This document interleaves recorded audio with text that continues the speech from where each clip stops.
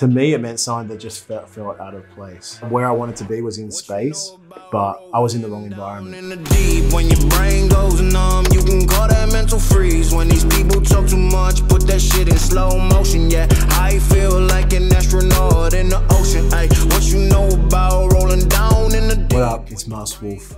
I'm a rapper from Sydney, Australia. And I'm gonna take you behind the video of astronaut in the ocean and react to your YouTube comments. No. What was the concept for the video? I had no idea. I, I literally rocked up and and I he he goes, "We'll take care of it." And we'll have some background drops for you to choose from. We actually had like a massive fishbowl. so we could only use it for like two seconds, and that's all it was used from. Let's just get this straight for a second. I'ma work. I shot it in Sydney, in the western suburbs, in like a warehouse with a massive projector. How long did it take you to shoot it? Two hours, Really? How much did it cost? can I say? A grand? It's not a bad ratio, a grand for 282 million plays on YouTube. That's the one tip I'd give. Like, don't put all your money into music videos when you're not known. Who directed it? Crazy thing is, I met this guy like years ago. His name is Daniel Serenaro. Four years later, I came back to him and I said, I'm moving back to Sydney.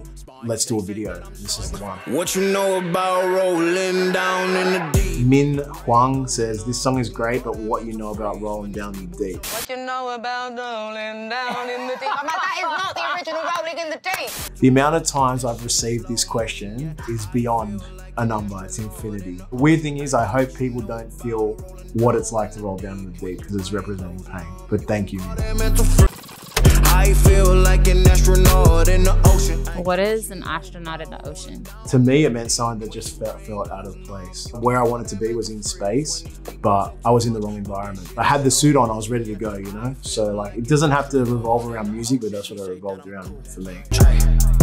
Let's just get this straight for a second. I'ma work. Maria Hartman Line. I love that he wore a polo hat in this video. So the day before, I was stressing because I didn't have a hat. I went into Myer and I just saw this polo hat and I was like, this is sick. And I just got it. And yeah, thanks, Polo. I was actually gonna wear the orange jumpsuit for Asher on my first uh, performance at a festival and we canned it because it looked looked cheesy. In the pool, can't drink 'em all, uh. When I piece it, Light step. Disclaimer: This song is hot. MVP. This is the MVP. Light step. 100%. It is. You know what? I didn't think it would be addictive either, to be honest with you. But hey, it is what it is. This dude's name is literally a smiley face. If I hear this song one more time, I'm gonna lose my actual mind. And he spelt lose with double O, which is loose. Feel free to give me a direct email and I'll send you uh, the mastered version of the track.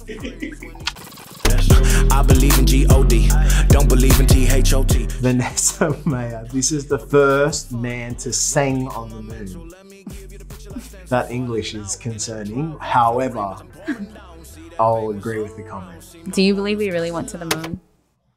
No. I feel like an astronaut in the ocean. Ay. Liam Alman. My four year old son loves this song. Everything we get into the car, or every time we get into the car, he's listening to say, My son asked me to play this song first. It's because your son obviously has an ear for gold, Liam. What you know about rolling down in the deep? When your brain goes numb, mental freeze. When these people talk too much, put that shit in slow motion. Yeah, I